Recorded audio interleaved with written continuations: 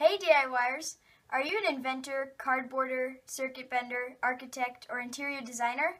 Then I have a challenge for you. For me? And me? For me? Do you want to learn about helping the environment at the same time? I know I do. Then I have the challenge for you. It's called the Eco Build a Home Challenge. All you need to do is make a model home out of four empty copy paper boxes or less. You can ask for these for free at your local office supply store.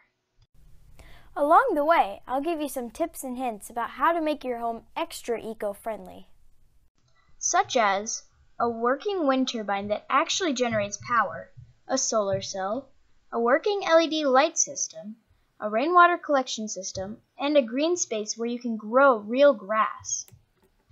I've used my home for the science fair and exhibited it at the Omaha and Barnes & Noble's Maker Faires and a science festival where I was able to educate over 4,000 people about green engineering.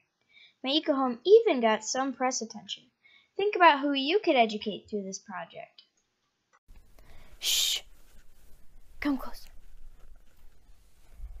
I've actually been talking with bigger companies about this prospect of getting it out to larger groups of people.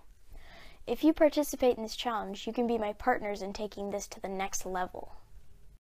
If you want to join this challenge, just like or comment below. If you have any questions, just comment and I'll be able to answer them. When I post any of my videos, I'll be sure to tag all of you in it so that you won't miss a single step. Don't have time right now? Don't worry about it. You have until May to finish your green eco home.